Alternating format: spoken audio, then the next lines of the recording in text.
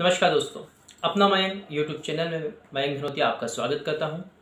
दोस्तों आज तक हम लोग देख रहे थे कि हेल्थ इंश्योरेंस से रिलेटेड हमने बहुत सारे प्रोडक्ट्स की इन्फॉर्मेशन ली है पर अभी हम लोगों के सामने देखने को आ रहा है बहुत सारे कस्टमर्स के क्वेश्चन हैं कि सर को पेमेंट क्या होता है?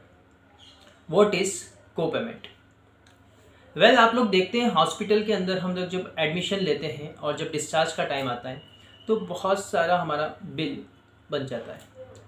डिपेंड करता है केस टू केस बेसिस पे कि आपका बिल पचास हज़ार रुपये का है या फिर पाँच लाख रुपए का। जो भी आपका टोटल अमाउंट होता है आफ्टर डिडक्शन ऑल अमाउंट ठीक है? जो भी आपका टोटल फाइनलाइज अमाउंट होता है, उस पे को पेमेंट लगता है।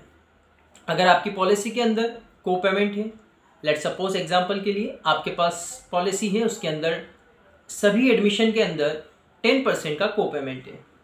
तो आपका जो भी टोटल बिल अमाउंट होगा, उस बिल अमाउंट का टेन परसेंट अमाउंट आपको हॉस्पिटल के अंदर पे करना होता है। After exclusion of disposal items and other items so ten percent amount अगर हमको देना है लेट सपोज़ आपका पाँच लाख रुपए का बिल आया है तो फिफ्टी थाउज़ेंड रुपीज़ का मिनिमम अमाउंट आपको पे आफ्टर डिडक्शन अमाउंट पे होता है। ऐसा ही हम लोग देखते हैं कुछ प्रोडक्ट्स में ट्वेंटी परसेंट को पेमेंट होता है तो यहाँ पे ट्वेंटी परसेंट तक अमाउंट पे करना होता है। और अगर थर्टी परसेंट को पेमेंट है या फिफ्टी परसेंट को पेमेंट है तो हमें फिफ्टी परसेंट तक भी अमाउंट पे करना होता है। तो आप कोई भी हेल्थ इंश्योरेंस पॉलिसी अगर बाय करते हैं तो आप लोग को पेमेंट को ज़रूर चेक करें।